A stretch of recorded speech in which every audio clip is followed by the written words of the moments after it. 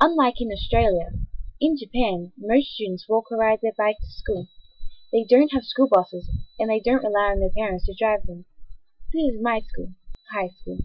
It's over a hundred years old and was built on the site of an old castle. Ohio Chia! In Japan, students wear commuting shoes to school, and then inside they wear slippers. The first thing everyone does is go to homeroom. My homeroom is Ichinen Gokumi, which is on the third floor. Each class has about 40 people. This is my class. Today I had maths. We are studying trigonometry. Japanese people are very good at maths. They don't use calculators at all.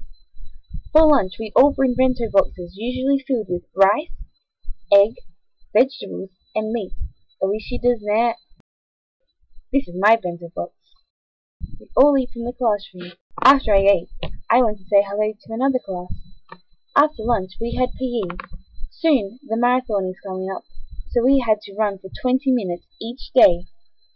This is the school gym. At Arima, the corridors can get very noisy and crowded, but in between classes they look something like this.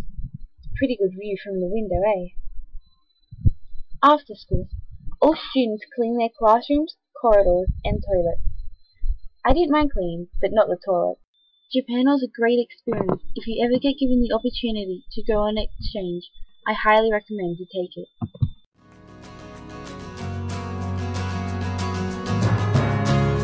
First I was a hatchling waiting for my